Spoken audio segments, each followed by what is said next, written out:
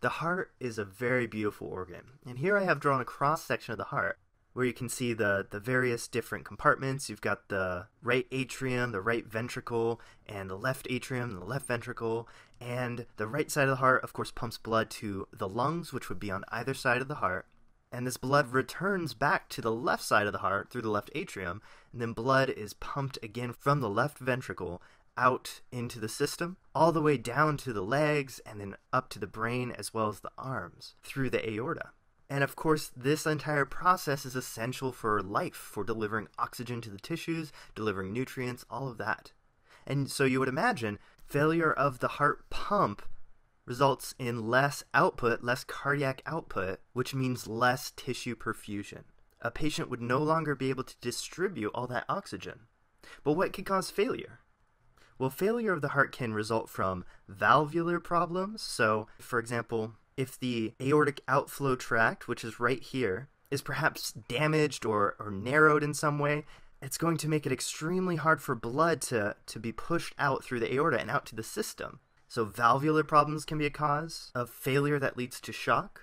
Arrhythmias, which means there's an issue with the electric conduction through the heart, which allows it to function and pump our entire lives there could potentially be stiffness of the ventricular wall or the wall of the heart, which prevents it from being able to contract properly. And if the pump itself is so severely disabled, this can lead to shock, lowering of the blood pressure, and decreased ability to deliver the necessary oxygen to the tissues. And I want to highlight that heart attacks are the major cause of cardiogenic shock. So, MIs, myocardial infarctions, cause decreased contractility. So what you'll see is, for example, if we look at the left ventricle, if blood can't be pumped forward, it'll back up, and it'll back up into the left atrium.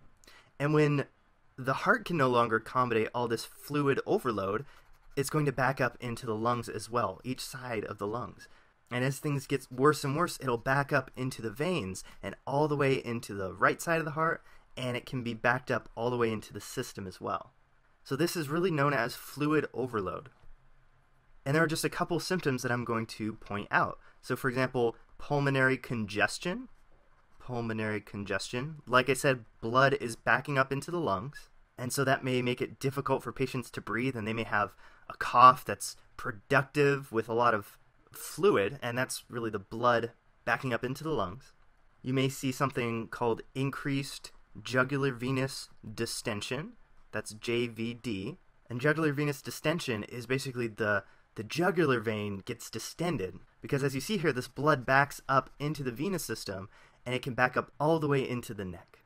And of course, you might see chest pain, also known as angina, as the heart is starved for oxygen. And then, of course, you may see the different symptoms that you would see in other shocks, such as organ failure, organ dysfunction, decreased urine output, and all of this is caused by decreased oxygenation of those different organs and tissues. You will likely also see cool skin as blood is being diverted away from the skin and to more vital organs such as the brain or the heart and the lungs. So, with these symptoms and these causes of heart failure, how can we diagnose cardiogenic shock in a patient? Well, let's take a look over here so we can take a look at the diagnosis of cardiogenic shock. And so diagnosis will include, of course, your typical labs such as serum lactate or ABG, assessing the oxygenation and the failure of tissues to utilize oxygenation for their biochemical needs. But also, you're going to want to look at different things that might be causing heart failure. So, for example, you might want to look at troponins, which will show if there's any tissue damage or damage to the heart, like in the case of a severe heart attack, or maybe you can look at a chest x-ray. So here is a normal chest x-ray with the clear lung fields. You can see this diaphragmatic recess, so there's no fluid accumulation here. And here is a congested heart and lungs. You can see this kind of fluffy fluid accumulation where the pulmonary veins are. So over here on our little heart picture, the pulmonary veins are really congested because of the backup of fluid from the left side of the heart. And you can also see this sort of blunting of the diaphragmatic recess. It's no longer here it's here it's still a little bit sharp, but on this side you can see it's starting to blunt, get blunted a little bit. So you, you can kind of make out the outline of the diaphragm and where it meets the chest wall, but it's somewhat obscured as compared to the normal view. And let me actually go and erase that so you can see it again. You can see how it's still kind of obscured versus over here. Or maybe you might want to look at an EKG for different signs of arrhythmias or a heart attack or something like that. Or take it one step further and get an ultrasound, an echocardiogram, to take a view of the heart. This heart ultrasound will allow you to see the contractility of the heart, how well it's squeezing blood. And so I highlight all of this really just to say that you want to look and see what's going on with the heart. What is the problem that's causing this cardiogenic shock or heart failure so that you can potentially correct it. But aside from these lab values, two ones that are particularly important in cardiogenic shock are evaluating the PCWP, which is pulmonary capillary wedge pressure, and the cardiac output. So here we are, let's zoom back down and take it over here and look down here so we have a little bit more room to play around with. And again, I'm going to erase a little bit. So first, let's go ahead and tackle the pulmonary capillary wedge pressure. Now the pulmonary capillary wedge pressure is determined by inserting a catheter to go through the venous system into the right side of the heart and up into the pulmonary arteries to essentially the capillaries. And that's why it's called a pulmonary capillary wedge pressure. You wedge this pulmonary catheter all the way into the pulmonary capillaries. And the reason you do this is to assess back pressure from the heart. Remember, in cardiogenic shock, fluid from the left ventricle builds up and backs up into the lungs and into the pulmonary arteries. And so this backup of fluid actually creates a pressure. Whereas the pressure is normally less than 15 millimeters of mercury in the pulmonary arteries, near the pulmonary capillaries, the pressure in cardiogenic shock will be above 18 millimeters of mercury. So this will be a way you can diagnose cardiogenic shock when you're trying to figure out what type of shock this may be. And the second thing that you can take a look at with the heart is cardiac output. Now, I had mentioned cardiac output or cardiac index.